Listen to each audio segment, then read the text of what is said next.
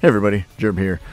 Today's video is a couple parts. The first one is me just opening a bunch of loot boxes with the joyful Christmas golden candy canes event where you save up all the golden candy canes and use them to get these sweet sweet loot boxes.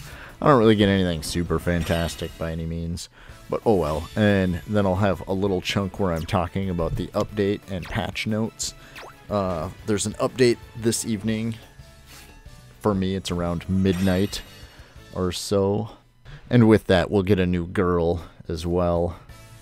I don't know, I've had a couple people message me that say they like watching me open all these loot boxes and whatnot.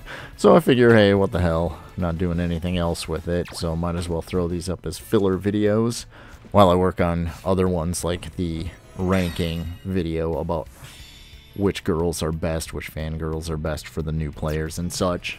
While this part of the limited event is nice and all, it's the other portion with the limited missions that's even better because, yeah, this nets you tons of little stuff that compounds and helps you level the girls, but the other event portion with the green and red candy canes is where all the really good stuff comes in, and I'll get to that a little bit later. So I'm going to stop this for now, and I'm going to head over to the patch notes because we got the maintenance announcement for tonight's maintenance.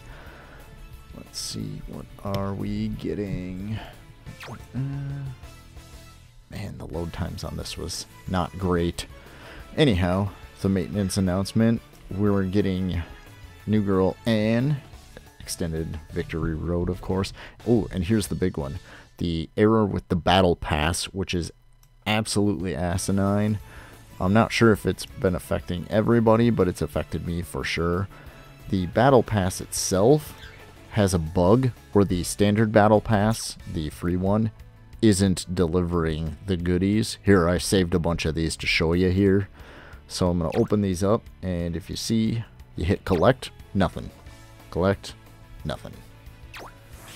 See, that was the, uh, the fancy Battle Pass, but the free one gives nothing. And then the paid battle pass actually delivers on its goods. Anyways, let's get back to some loot opening and candy cane spending. So you'll see I don't show all of what I got. I end up in this candy cane area. I ended up buying all of the potentials, both retro sling bags and god, I think nine special skins. And it boosted my total character's HPs a ton, and it got me up to, I think, mm, something like level 13. But, oh man, it this event was so helpful for getting this character leveled way, way up. And then it also unlocked tons of skins, tons of boosting materials to level up the girls and all their equipment. I mean, it would be nice if they added a few more things other than just the headgear, but whatever. It was good enough. You know, I appreciate this. This is an amazing thing the devs have done. So hopefully they keep up things like this for random girls at other times. But anyways, hopefully uh, the new girl turns out to be pretty good. I was really sad that I didn't actually buy any of the gold stuff because I actually wanted that snowman icon.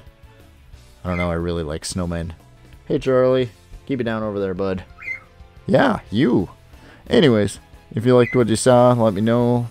Please like, comment, and subscribe. Thank you much for watching. Have a good night. And I, I still am working on that best girls ranking video. It's just taking a super long time, so hopefully I can get it in the next week or two. I can't guarantee it, but I'll try.